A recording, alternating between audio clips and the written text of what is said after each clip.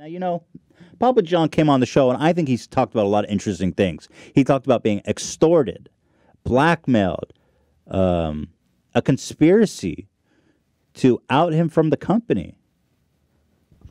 And yet, all the all the freaking headlines are the same. Papa John's founder. I didn't eat 40 pizzas in 30 days. I had 40 pizzas in 30 days. How is that the headline? That's stupid. Oh, Papa John admits he didn't actually eat 40 pizzas in 30 days. I cannot believe that that is the headline. Papa John founder reveals the truth. he didn't really eat 40 pizzas in 30 days. And they all chose that. That's shocking. There's the best one here. Wait, it's uh oh, th- this is the best one. Papa. John reveals that he lied to America. he didn't actually eat 40 pizzas in 30 days. You motherfuckers.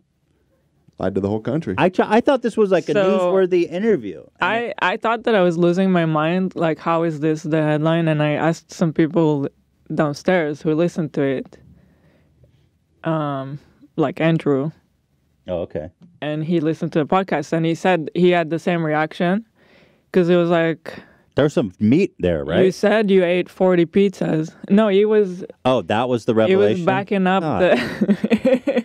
But I called him out on that too, right? yeah. I was like, dude, so had means like- eaten. Yeah, yeah.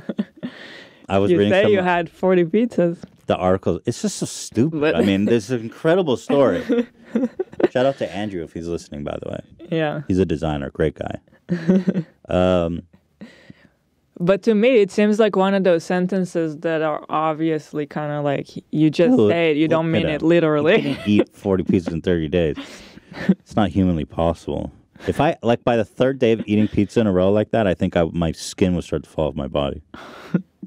um, but some of the articles were like, yet the host, H3, called him out oh, and didn't let it slide. Had means eaten, Ethan Klein said. Hard hitting journalism. right. Felt good about that. Take that, Newsweek. Oh, and then and then Papa Schnatter, after the day after our podcast, sold another huge chunk. so I was like, "What? I wonder." That's Papa just made sixty three million.